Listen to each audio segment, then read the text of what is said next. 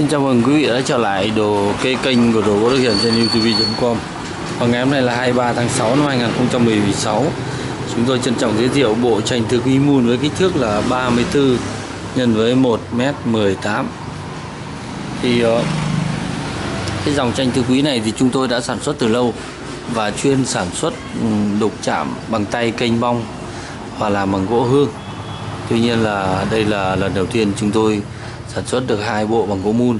Thì bộ này kích thước là 34 x m18 và tí nữa tôi sẽ đi vào trong nhà còn một bộ là 32 x m16 tức là mỗi bề giảm đi 2 cm thì ờ, như quý vị trông thấy đây tất cả là cái bộ tranh này là đều cùng từ một khúc gỗ ờ, vân gỗ rất là đều và đục chạm kênh bong. Để tôi vào tôi lấy cái, cái thìa để thuyết minh cho quý vị thấy là nó kênh bong như thế nào.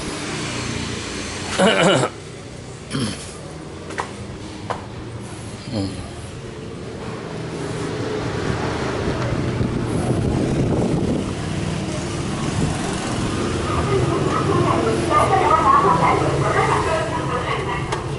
vừa rồi đã cất cái thìa rồi. Ở đây đang có một cái cái não đây. Kỳ ra chỗ khác ra.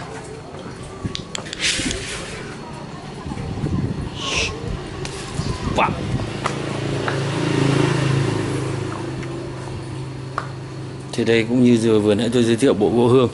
Bây giờ tôi cũng xin bắt đầu từ uh, bộ gỗ mun uh, từ uh, cái tấm tùng tượng trưng cho mùa đông. Tùng cúc trúc mai lấy chính là bốn mùa. Và cây tùng là tượng trưng cho mùa đông cây cúc là mùa thu cây trúc là mùa hạ và cây uh, mai tượng trưng cho mùa xuân. Và cái này chúng tôi được chạm rất là kênh bong như quý vị thấy đây là cái nạo có thể chui vào bên trong bức tranh được. Đây thậm chí là chui rút hẳn vào trong đây. Nếu mà cái nào mà nó màu màu, màu sáng trắng thì nó rõ hơn. Đây. Chui rút kênh bong vào trong. Thì nhiều khách hàng cũng không biết là làm nào mấy người thợ tài người lại thói được vào trong như thế nhưng mà thế nó mới là cái nét đặc trưng của cái đục tay. Bởi vì đục máy thì không có cái máy nào mà lại chui rút lại moi móc như thế này được cả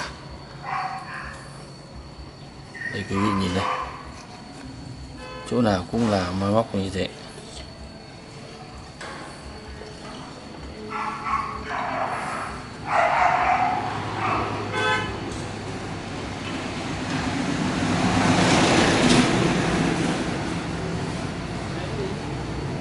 Và yêu cầu thành phẩm là trông có vẻ như là dán từ ngoài vào, thì mới là đạt yêu cầu tuy nhiên là chúng tôi cam kết đây là tuyệt đối hoàn toàn là liền nguyên khối chứ không có gắn dán cái gì. Ờ, cũng có một khách hàng đã từng gửi email vào cho tôi muốn đặt một số cái tác phẩm điêu khắc. Họ lấy từ những cái tài liệu của Nhật Bản về đục chạm vô cùng kênh bong nhưng mà cái kỹ thuật đục chạm của Nhật Bản họ cho phép được gắn dán. Ví dụ như là cái cành cúc này có một cái vêu hẳn ra ngoài tranh nhưng mà đấy là đục chạm bên ngoài và gắn vào. Nhưng mà cái kỹ thuật ừ, đục chạm của Việt Nam mình thì là rất là cầu toàn và muốn rằng là người thợ đục kênh này đến cỡ nào thì tùy. Nhưng mà yêu cầu là phải liền chứ không được dán.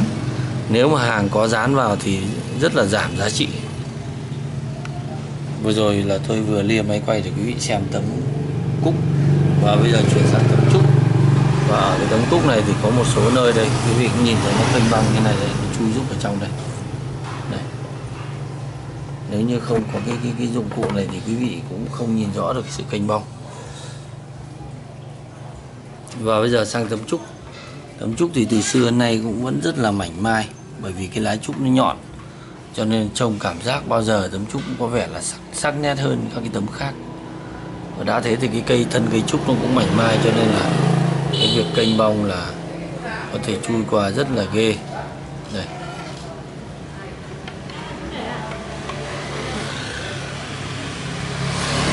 Các chỗ đều có thể chui giúp cái cái cái cái, cái nạo này vào. Này.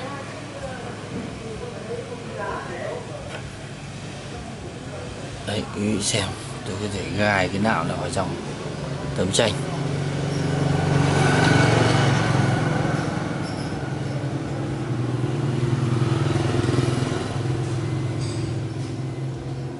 Những cái con chim trĩ và những cái con chim ở đây cũng rất là sống động.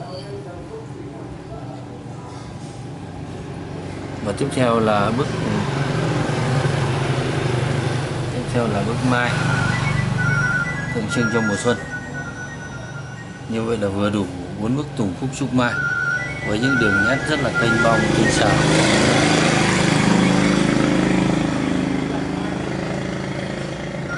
Xin nhắc lại là bộ này kích thước 34 x mét 18 và ván gỗ là dày 4 phân rưỡi. Và xin mời quý vị à, có hỏi giá thì sẽ nhắn tin hoặc hỏi vào số điện thoại 0984 666 999 không hỏi ở trên à, trang youtube thì tôi sẽ không trả lời. Xin cảm ơn quý vị đã quan tâm theo dõi. Alo. Vâng được đây.